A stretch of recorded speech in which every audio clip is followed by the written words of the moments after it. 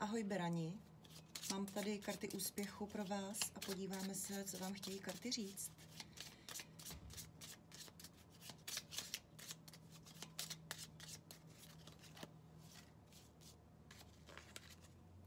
Tělo.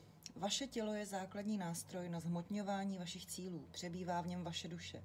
Je dokonalým darem pro každého z vás a jeho prostřednictvím můžete uchopovat a ovlivňovat realitu. Nepochybujte o něm a lásky plně se o něj starejte. Bohatství. Očekávejte ve svém životě to nejlepší a vesmír vám odpoví tím, že vám dá to nejlepší. Jste předurčení k bohatství. Nepochybujte. Služba. Vše, co děláme, musí sloužit. Uměrně tomu, natolik, nakolik si vážíme sami sebe a cítíme svoji cenu. Děláme smysluplně věci. I peníze mají sloužit a proto musí proudit.